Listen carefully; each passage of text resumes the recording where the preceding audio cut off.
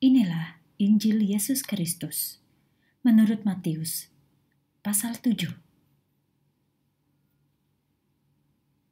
Jangan menghakimi, maka kalian tidak akan dihakimi.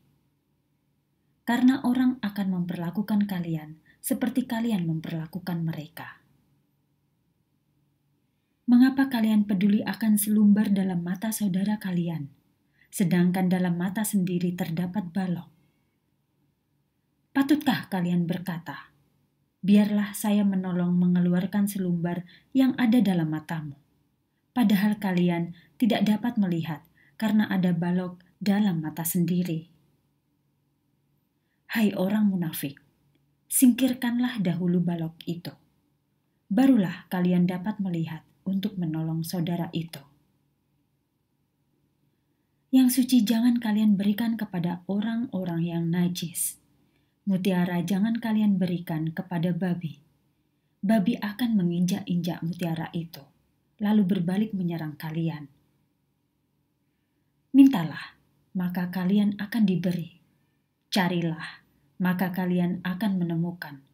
Ketuklah, maka pintu akan dibukakan. Karena yang meminta akan menerima, yang mencari akan menemukan. Asal kalian mau mengetuk, pintu akan dibukakan.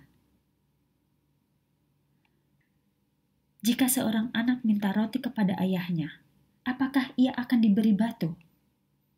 Jika ia minta ikan, apakah ia akan diberi ular berbisa? Tentu saja tidak.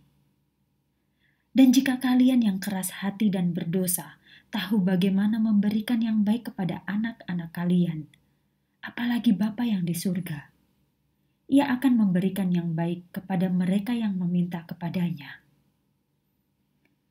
Lakukanlah bagi orang lain apa yang kalian ingin supaya dilakukan orang bagi kalian. Inilah pengajaran hukum Musa secara singkat. Jalan ke surga. Hanya melalui jalan yang sempit kita dapat masuk surga. Jalan menuju neraka memang lebar, dan pintunya cukup besar untuk semua orang yang memilih jalan mudah. Tetapi pintu yang menuju kehidupan itu kecil, sedangkan jalannya juga sempit, dan hanya sedikit yang dapat menemukannya. Berhati-hatilah terhadap guru-guru palsu yang menyamar sebagai domba, padahal sebenarnya mereka serigala yang akan merobek-robek kalian mereka dapat dikenali dari kelakuan mereka, sama seperti sebatang pohon dapat dikenali dari buahnya. Kalian tidak akan keliru membedakan pohon anggur atau pohon ara dari semak duri. Jenis pohon dapat dikenali dari buahnya.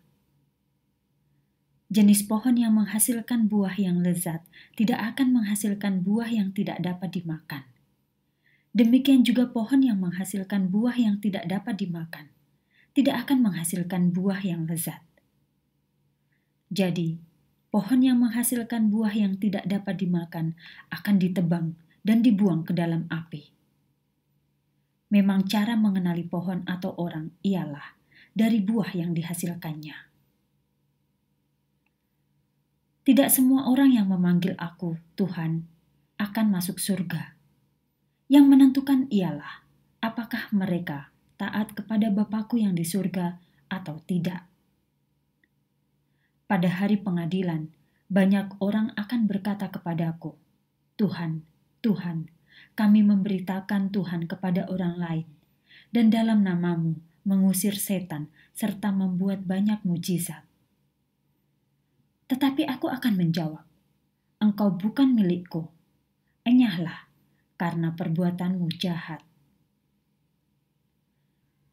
Semua orang yang mendengar petunjuk-petunjukku dan menaatinya, mereka bijaksana seperti orang yang membangun rumah di atas batu yang kokoh. Walaupun hujan turun dengan lebat dan banjir melanda, serta angin topan menghantam rumahnya, rumah itu tidak akan runtuh. Sedangkan mereka yang mendengar petunjuk-petunjukku tetapi tidak mempedulikannya. Mereka itu bodoh, seperti orang yang membangun rumah di atas pasir.